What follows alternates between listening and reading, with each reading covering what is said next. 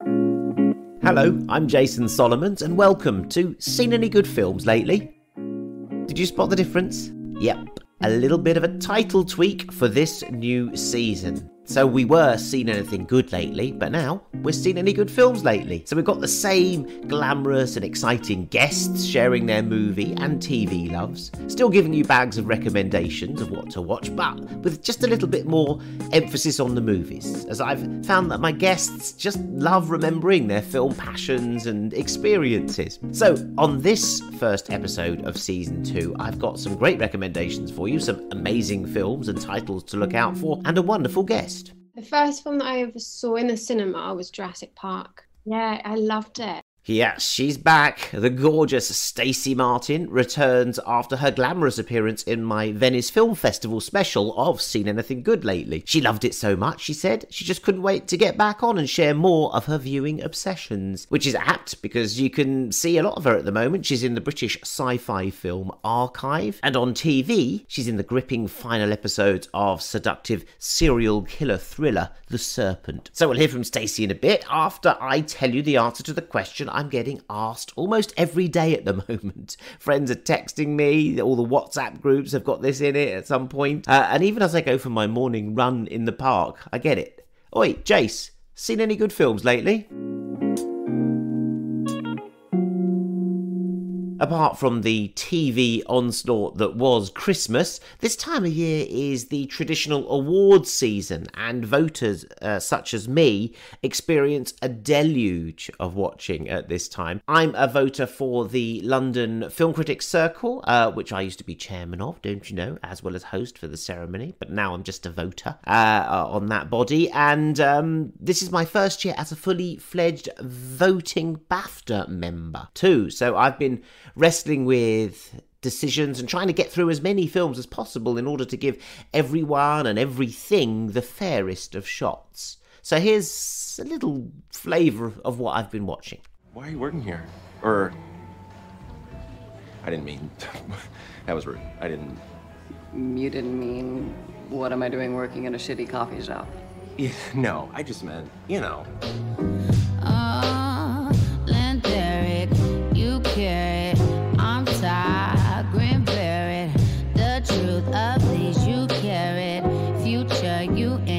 chariot. I am a revolutionary.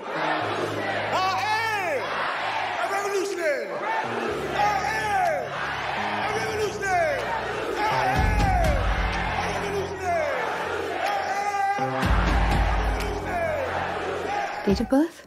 Friday, 31st of December, 1937. You're living with your daughter at the moment? Yes, until she goes to live in Paris.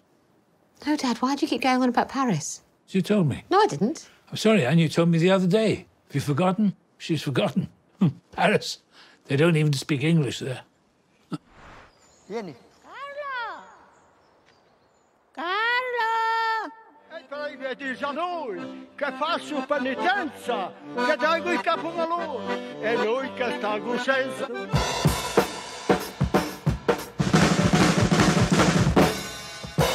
Right, so to run down just a few of those you'll be hearing a lot more of in the coming weeks. Uh, in there was Carey Mulligan in Promising Young Woman, which I just thought was fresh and funny and shocking and great. It, it was just one of those breath of fresh air watches that I had. Uh, it's directed by Emerald Fennell, and uh, she was showrunner on seasons two and three of Killing Eve. And this film's definitely got that that flavour and that colour and that dark humour going on. The extraordinary Andra Day was in there as Billie Holiday uh, in the United States versus Billie Holiday. She does all her own singing, uh, and well, she's going to get some nominations uh, for sure because she's outstanding in a very good film, The United States versus Billie Holiday, coming to Sky Cinema, I think, in late February, later this month. Judas and the Black Messiah, that's excellent too. Uh, it's got Daniel Kaluuya as a young Black Panther, uh, Fred Hampton, uh, and his circle is infiltrated by an FBI informant played by Lakeith Stanfield. Really stylish, very cool. Definitely the coolest film uh, out there at the moment. It uh, debuted at Sundance uh, and it should be here sometime soon. Uh, there was the towering Anthony Hopkins you heard in The Father with Olivia Colman, heartbreaking as the daughter who has to look after her father's creeping dementia. And there was also a snippet of my absolute favourite discovery of all the documentary The Truffle Hunters about the wizened Italian mushroom seekers. It is just gorgeous and it's tasty and romantic.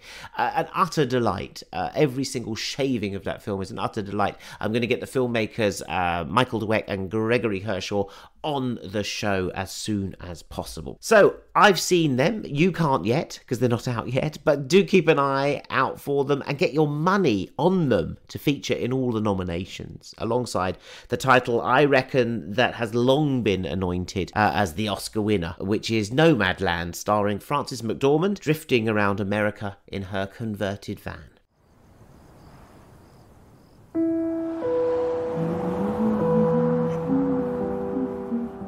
You are one of those lucky people that can travel anywhere. Yes, ma'am, I know. And they sometimes call you nomads. My mom says that you're homeless. Is that true? No, I'm not homeless. I'm just houseless. Not the same thing, right?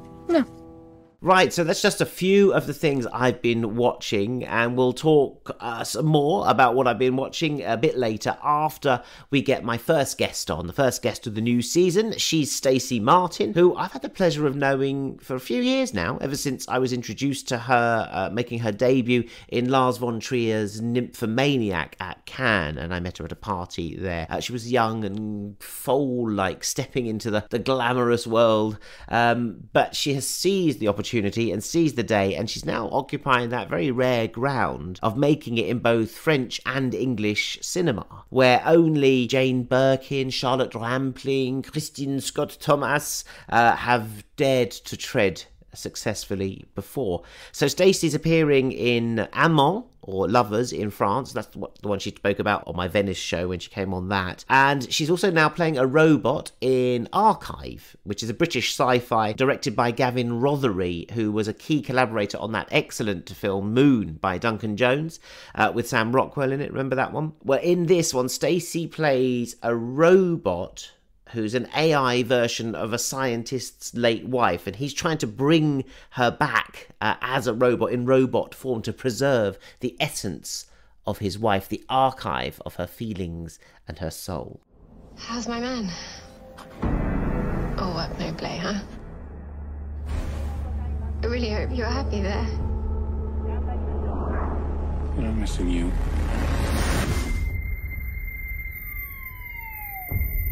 A bit. A lot.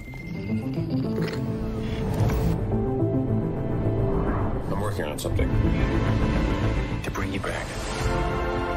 that never managed to connect a computer to the archive before. I waited a long time. And then I saw something. So that was Stacy in Archive. She's also in The Serpent. You've been watching that, haven't you, on iPlayer, BBC iPlayer. It's got Tahar Rahim and Jenna Coleman in it. The story of hippie killer Charles Sobhraj, who stalked the traveller routes of Thailand, India, and Nepal throughout the 70s under the guise of a gem dealer. It's a very glamorous series, all that sort of Parisian styling, the floppy hats and the big glasses and the high-waisted trousers. And it's that's part of the attraction of the, the seduction of it all, that the glamorous world that they threw up in Bangkok. So Stacy's about to show up there uh, in the fi- finale of The Serpent. Looking forward to seeing what she does. So I caught up with her and asked about being a star in Britain and France, uh, all the TV and films that she loves and has loved, and what it takes to get robot ready. The process of actually becoming the robot for archive was a three hour to four hours every morning which i kind of took on really excitedly. And and after week one just thought what have i taken what am I doing? But it was just so interesting to go through that level of transformation before because I'd never done anything like that. I think that they're quite d- interesting process, isn't it? Because you get the words on the page when you're an actor, and then you have to put a body into them, so they be, they become alive in a way. So in in a sense, you are sort of filling a a blank space with your physicality as an actress, and you're sort of doing the same as a robot there. But this is about making a soul and giving it a human face. But it's quite important that it is your face. I mean this in in the most flattering terms possible. It does look a bit like you. You know, you mm. can see your little face coming through it. Yeah. I mean.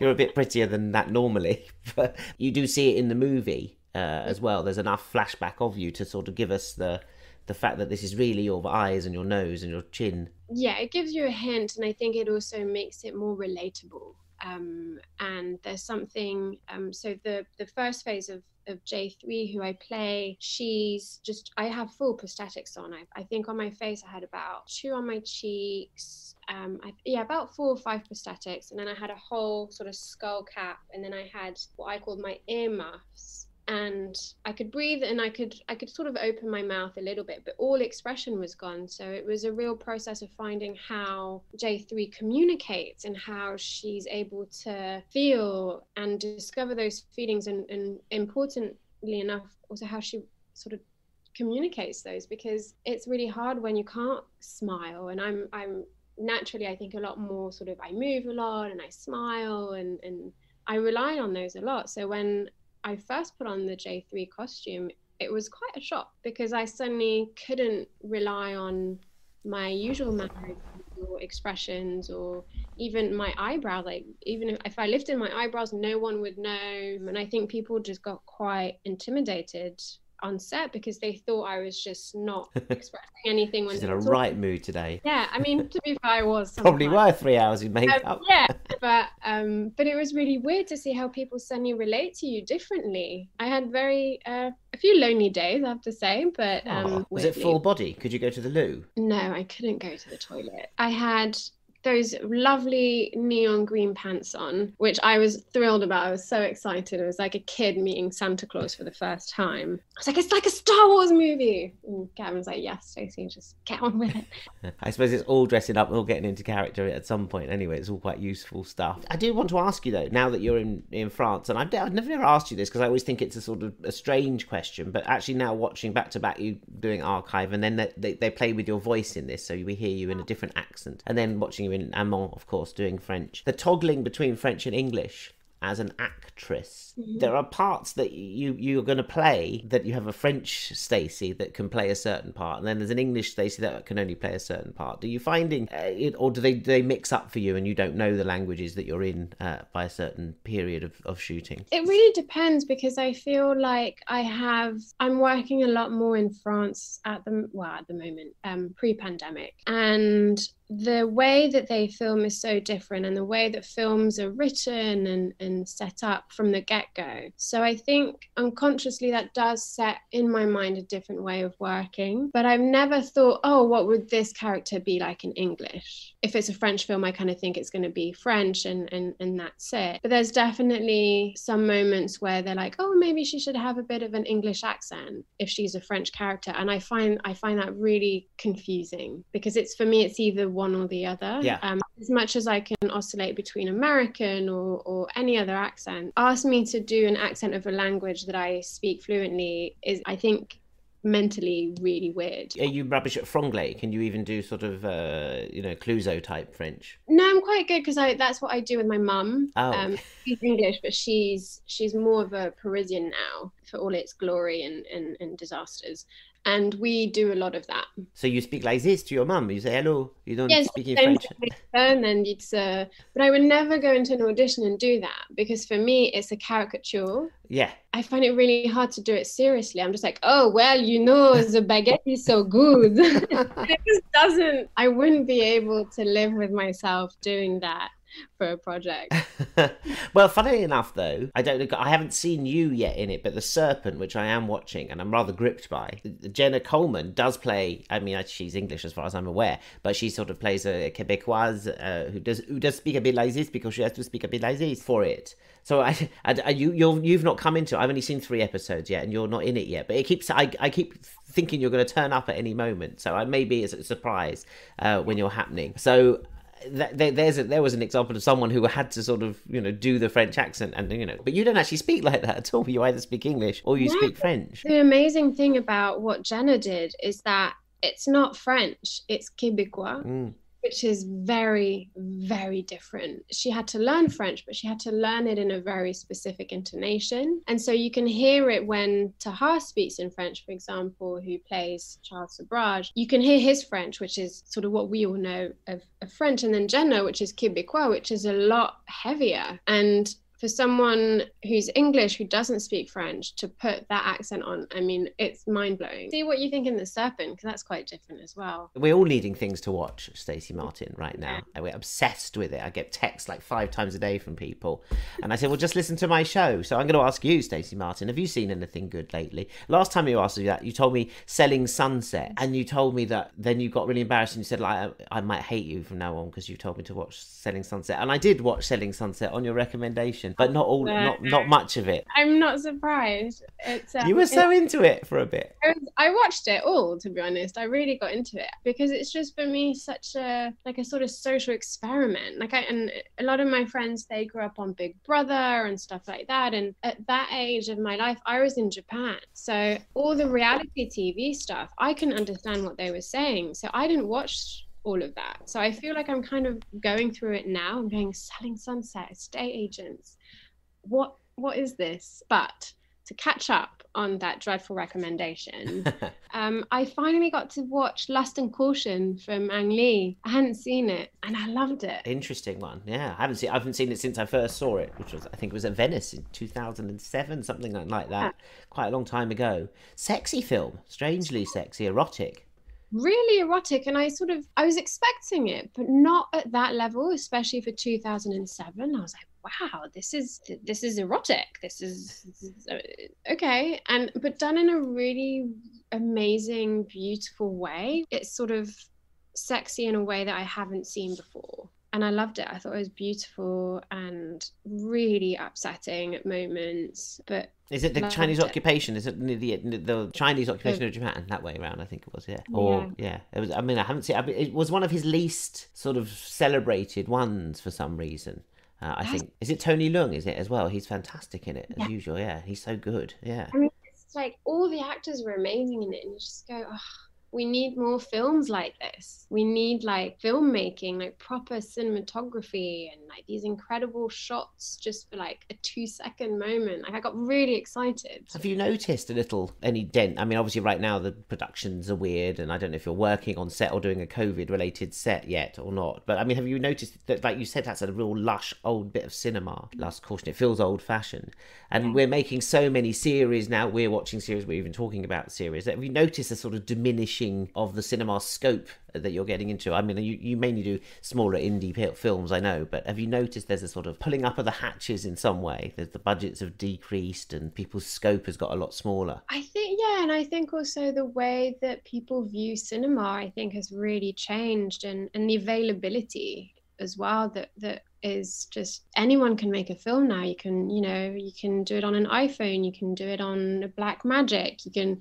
you don't have to have a crazy Alexa and a whole crew behind you, which is great. But I think it also is dangerous because it means that people who I'm trying to tread carefully here people who want to make a film but don't necessarily have the vision make films. And you know that's great but do i really want to watch a film that's on handheld camera again and again mm. about a social structure in in somewhere really lost in england or france? Like we they have their place but i don't want that to be the only thing that's being made. Like i want to be amazed and i want to be inspired. And that sort of cinema you can only really see now in big budget films you see it in marvel you see it in in sort of star wars or you see it in james bond because they have the funds so they can do these crazy shots and they can you know pan for five hours and and it's just a shame that it's becoming such a difficult mode of, of, of working. Yeah. What was the first film you ever saw, Stacy? The first film that I ever saw in the cinema was Jurassic Park. Nice it was- choice.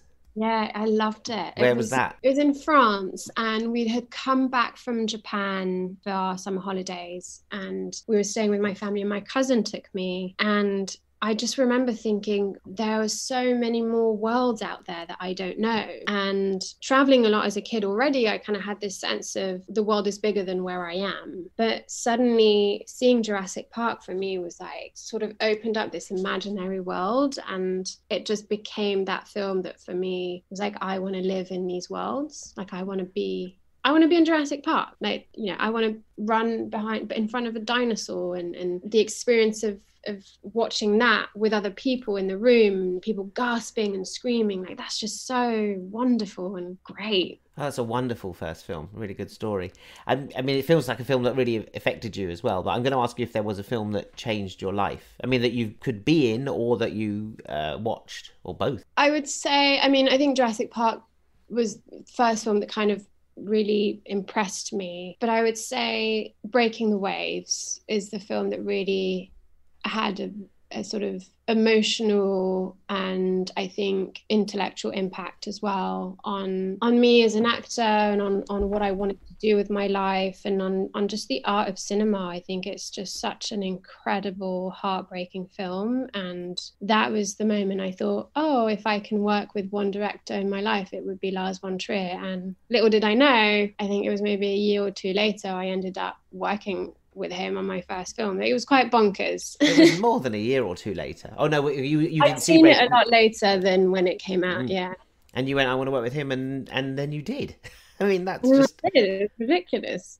I think I need to do this a bit more often. Sort of watch a film and go, oh, if there's one director I want to watch. Mr. Spielberg, I think. Spielberg, hello. Oh, hi, Tarantino. How are you? well, it obviously worked. How extraordinary! I didn't know that. About no, I mean, amazing performance from Emily Watson in there as well. and I actually got to wear. So she wears these um red sort of plasticky shorts um, at one point in the film, and I got to wear them, and I was so excited. What do you mean you got to wear them? I we reused some of the costumes that she wore, and and we tried them on, and I was like, these are the pants that um that she wore, and and they're like, yeah, and I was like, I'm wearing This is Yeah. for Nymphomaniac. an Nymphomaniac, and and I wear them um in the train scene. Oh, okay. I I don't remember too much about the wearing in Nymphomaniac, to be honest with you. All right, don't worry. Oh, I think that's amazing. Stacy, it's been wonderful talking to you as ever. Listen, Yeah. I hope you get back to a set pretty soon. I don't know if you, you you know, See. but meantime, we've got so much to coming for. You've got Lovers to come, uh, The Serpent, which, which you're about to do. Uh, Archive is out now, and you've got two or three lined up, haven't you? What else you got coming out? Hopefully, yeah. Um, I'm going to shoot The Brutalist by Brady Corbet. That's his third feature, so we're hoping to do that this year. And you've been with him in the previous two. Yes. Um, so his last one was Lux with Natalie Portman, and then his first film, Childhood of a Leader, um, with Robert Pattinson, uh, Berenice. And I play a French Cheeto in that, so that was Yeah. fun. But yeah, I mean, you know, I'm sort of also just at a stage where I'm very excited to get back to work, but do I want to be working and stressed out with knowing that there's a risk of me catching the virus and, and spreading it to my loved ones i just i'd rather just wait at this point if i can and, and just hold on as much as, as possible and, and, and yeah we'll see who knows yeah, well, keep safe and keep well, and uh, yeah, don't journey back and forth more than you need to, because then it could be bit like. Are you coming on the train? yes i mean i hope they'll let me back i feel like it's quite intense at the moment so Yeah. i might be stranded here What passport do you have? This is the other new thing you have to work out. I have both so i i'm very lucky on that on that respect You have French and British passport now. Yeah. Ah, so you're okay for Brexit. Will this be your first journey in the new Brexit era? yeah Oh. sort of yeah I don't know what it means. I don't know what it's going to be like. I haven't. I, I don't know. I just know people taking people's sandwiches away from them and getting them upset. Crazy, I read that this morning. Well, I my sandwiches remained intact, but um, I'll let you know on the way back to England. You're going to have demi baguette, and you'll be like, "Well, I couldn't finish it." Give me the butter, please. lovely to see you again. Thanks so much for coming on the show again with some great recommendations, Stacy Martin. Lovely to see you, and courage. Merci, à bientôt. À bientôt, à très bientôt. Lovely stuff from Stacy Martin. She's welcome back anytime on Seen Any Good Films lately. Right, uh, what else have I been watching? Look, the only show in town is surely It's a Sin.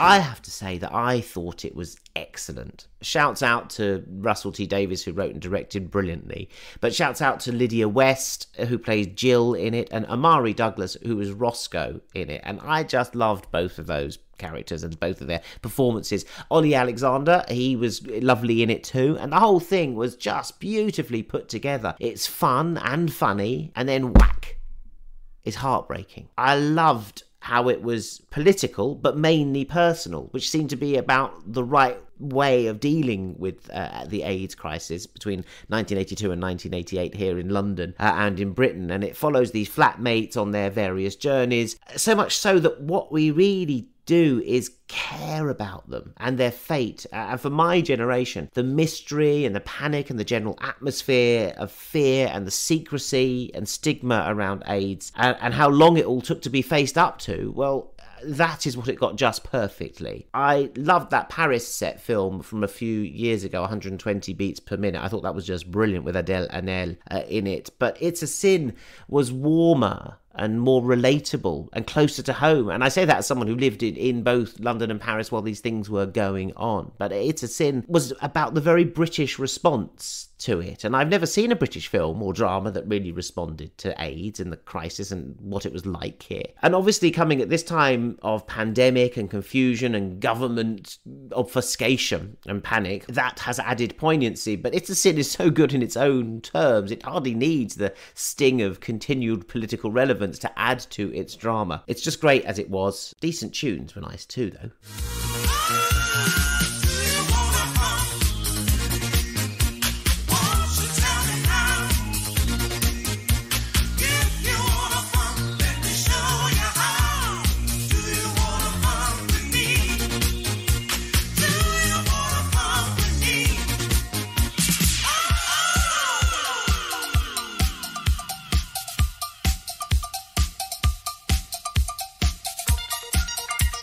Sylvester and Patrick Cowley there. Do You Wanna Funk? It features on the playlist of It's a Sin, as all of these uh, dramas now have playlists that go with them on Spotify. And uh, It's a Sin is, is an essential playlist and it's essential TV viewing all on all four. I'm still watching the new and final season of Call My Agent on Netflix, so we'll talk about that soon when I've, when I've seen a bit more of it. Uh, 30 Rock, that's still our 30 minute binge watch, catching up on that classic US sitcom, delivering 30 minutes of absolute kind of zinging joy for us, really enjoying that. And uh, well, I must mention The Dig, the film that's now on Netflix, with a great Ralph Fiennes performance as Basil Brown, the Norfolk man who dug up Britain's largest treasure haul in Suffolk at, at, Sutton Hoo, the, the Saxon treasure ship that he found there. He's really good in it, Ralph. Though sadly for me, there's not enough of him in it. And the film veers off on another less interesting love story tangent with Lily James and Johnny Flynn,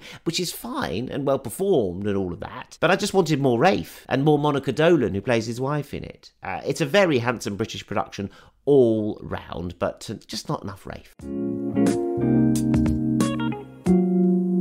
And that's about it for the first episode of Seen Any Good Films Lately. I hope you didn't mind the tweak. I hope you spotted the changes. Um, but yeah, it's still essentially seen anything good lately.